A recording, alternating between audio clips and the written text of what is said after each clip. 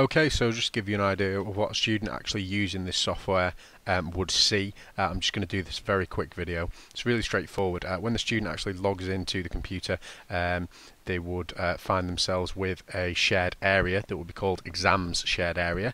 Um, you can see all the shared areas I've got listed here, but there would just be one on the exams computer that would say exams.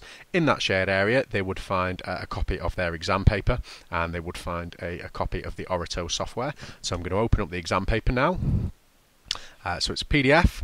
Uh, this is in Adobe Acrobat Pro, but it would also open in Adobe Reader, um, which is free software. You can see it's just exactly the same as an ordinary uh, exam paper, just digital. Uh, if a student wanted to zoom out to see a little bit more of the paper, they can do that. Um, they can snap it to the side if they wanted and maybe have a Word document open over here. Um, but the majority of the students who were doing this um, were actually just using the computer as a reader and then handwriting. Um, so there's your there's your um, there's your exam paper ready to go. Uh, and then they would open up the Orato software.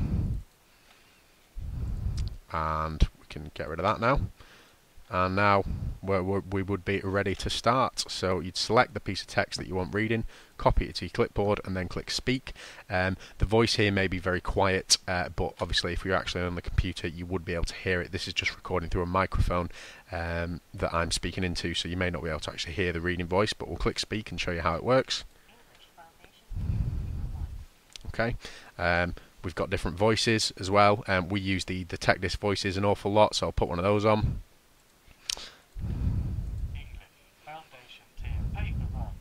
Uh, and that's it really. Um, some of the students selected large chunks of text to have read to them in one go. Um, others would just select small pieces of text.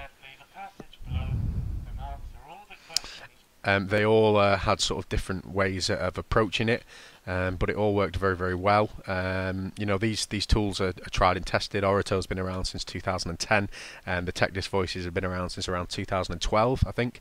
Um, you know we've done this with very few snags, um, so I just wanted to do this video just to give you an idea of, of just how simple it can be. Um, so just just to go over that again, uh, we've got uh, the the exam paper in a PDF and we've got um, the Orato software saved to the same place as the exam paper so the student can open it up uh, and then they can open both of those things, select the text they want reading and then they're, uh, they're ready to go.